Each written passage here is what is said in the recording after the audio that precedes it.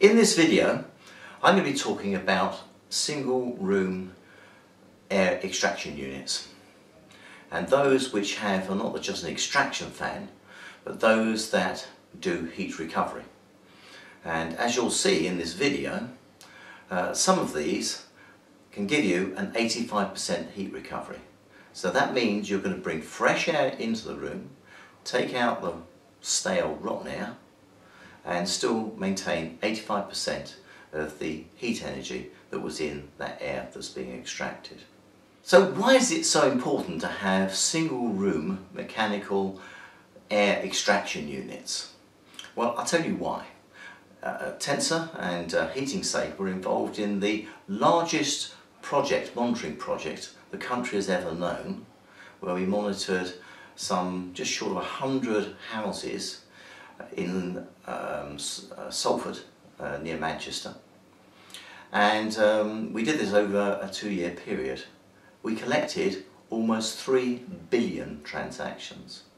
And what those transactions showed, because we were measuring carbon dioxide levels, that in some of the bedrooms in these houses, the CO2 levels reached 2,000 parts per million which frankly is, is very, very unhealthy.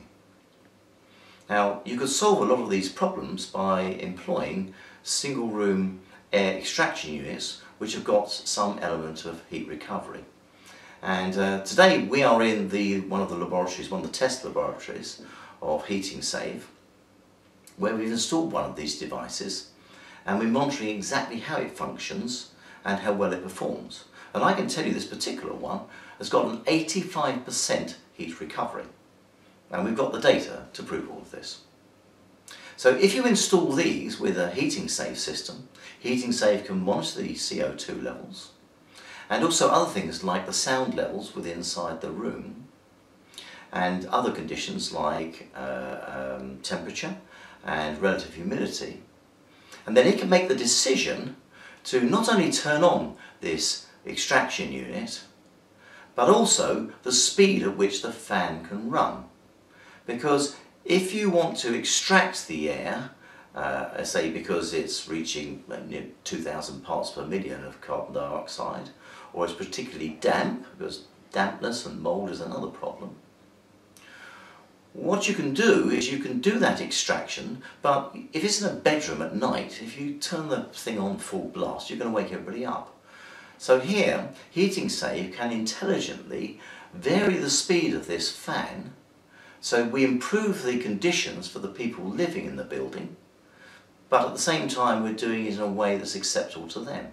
Because if this same circumstances uh, existed say in the lounge in the evening, people are smoking, uh, CO2 levels are going up, maybe there's a lot of people there, you can do the same thing, but with a lot of background noise from the television, and don't forget HeatingSave can monitor things like sound levels too. Uh, we could run the fan a lot faster, extract the air more quickly to make the, the room particularly healthy as far as air conditions are concerned. But um, it wouldn't disturb the occupants because they're all busy watching television. But obviously in a bedroom at night when it's quiet, you have to run the fans a lot more slowly. So what one of these single room extraction, air extraction units actually look like? Well, we have one on the wall here. So this is the unit itself, and you'll notice that because this is in one of our R&D labs, we've also here got a temperature sensor, which is monitoring the temperature of the air that's coming in, and inside the unit we have another temperature sensor which is monitoring the air that's uh, going outside. And we have yet another temperature sensor here to measure what the room temperature is a short distance away from the extraction unit itself. On the outside wall where you have a single room extraction system, uh, sort of a single room MVHR type sort of system installed, then uh, you have a vent. And this is the vent behind me here. And this vent, you'll notice, has basically two orifices. One of them here is taking the air that is um, coming in and then this higher one here is the air that's being blown out.